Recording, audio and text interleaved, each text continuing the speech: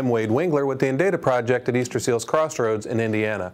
Lately, I've been hearing a lot of buzz about the new HumanWare Touch note taker. Mike Tindell from HumanWare is going to show us what's going on with this. Good morning. My name is Mike Tindell. I'm a National Blindness Product Specialist with HumanWare.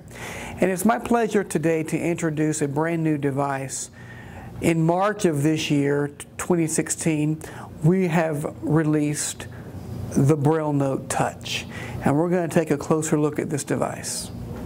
So as I mentioned, I want to take a look today at the first certified Google Braille tablet called the Braille Note Touch. This is our fourth generation of Braille Note. We've had the Braille Note Classic, the mPower, the Braille Note Apex, and now the Braille Note Touch. We have four thumb keys on the front as you're used to. We have 32 or 18 braille cells, cursor router buttons above those, our keyboard, and then in the back we have USB as well as SD card and an HDMI slot. Um, the Braille Note Touch, if I move down the menu with my far right thumb key, you will see the familiar Braille Note apps on Keysoft that you're used to. We have totally rewritten Keysoft from the ground up, now utilizing the Android platform running Keysoft. Contacts, key email, key mail, internet, key web, word processor, keyword, planner, key plan, file manager, key files, calculator, key calc. Victor Reader. Here's the big one. Play Store. You heard Play Store. The reason you hear Play Store is because we can now download any accessible app from the Google Play Store and download it to the Braille Note Touch. I'm going to quickly go into the word processor by typing a W. Word processor. And that's what I want, Keyword. so I'm going to press enter. I can use first letter navigation across the board using this device. So I'm going to press enter. Keyword menu. Create. I have create, open, open print, print emboss, emboss, settings. settings. Bottom. So I'm going to choose C to create. I'll press a C. Create. And press enter. Loading. Please wait three period. And I'm going to say. Dot six. Thanks for joining oh, us today. 256. Today. And I see that in contracted braille. If I go to the top, space with L. Top. Do a read all, space with G. Thanks for joining us today. I'll go to the bottom. Bottom. With a 456 chord. So as you can see, space 456. So as you can see, all the commands that you know utilizing the Braille note still works with the Braille Note Touch. Now we call it the Braille Note Touch because this device is actually right now in a case, a HumanWare smart case that is containing the Braille Note Touch. But the case, as a part of the case, is this keyboard that you heard me typing on and saw me typing on. So if I flip this back, you now have a 10-inch touchscreen where someone sighted can visually see where it says, thanks for joining us today. But if I lay my fingers, all 10 fingers on the screen, the unit will find my fingers. Dot six.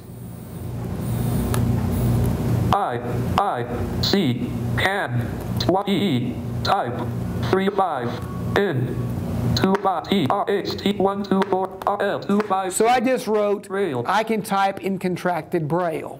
So if I read that.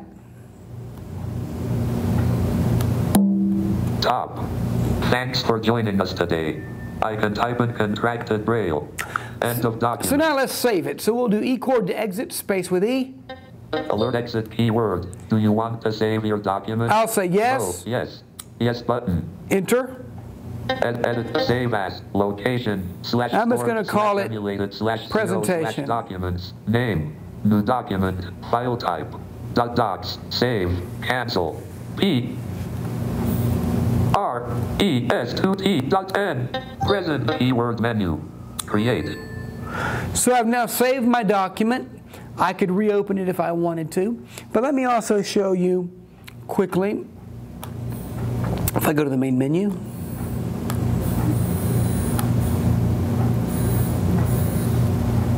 Top. Main menu. Contacts. Key list. I'm going to type in A for all apps All applications. and press enter. Main menu. All apps. I'll type the letter D for docs Docs. and press enter. So I'm now going to be typing in a Google Docs Docs. document. Refreshing. Today. So I'm going to type I for a file that I already have created that I'm sharing with someone. It workshop Google. It's opening the document workshop. now. I'm going to press E to Edit the document. I'm going to type Open in E to edit the document. Edit button. So I am Edit now box. editing my document. I can go to the bottom of my file. And in contracted braille, I'm going to write H space. have a space, lot L of fun. E U N. Now I wrote space, have a lot of fun, substituted. and in braille I can see Substituted load of. Substituted. have is in contracted braille, but I'm able to make as many corrections as I need to make. And I can then exit with eCord, Substituted of. and I'm actually able to do a D for done. Done. It jumps me right to the done button. I press enter. Done. And I've now edited this document, typing in contracted braille. It went up to Google Cloud, came back down, and saved the changes that I made there. So I can collaborate with anyone working on Google Documents. If I, Bottom. I'm going to power the device, I'm going to lock the device, and I'm going to pull it out of the case very quickly just so that you're able to see this is the Braille Note Touch. And it actually is, um, as far as the internet goes, uh, we are running Firefox under the hood of KeyWeb. So we're able to go to school websites, students are able to go to any website where they need to be and look at files and, and, and links um, much easier than before because we're using Firefox under the hood of KeyWeb, as I mentioned. Um, another thing to quickly mention about the device, as I showed you, is first letter navigation across the board to do anything that you want to do, and the ability to download apps from the Google Play Store. And as long as the app is an accessible app, it will certainly work on the Braille Note Touch. If you need more information, uh, contact your local dealer or feel free to give us a call at Humanware. Our number there is 800 722 3393. The uh, website www.humanware.com. And if you have a local dealer in your area, um, I know that in Kentucky and Indiana, Lab Computers is your local dealer. Feel free to give Brian a call, and uh, we're happy to support you in any way that we can. Thank you for taking a look at the Braille Note Touch. So there's a new and significant development in the field of note takers for people who are users of Braille or blind or visually impaired.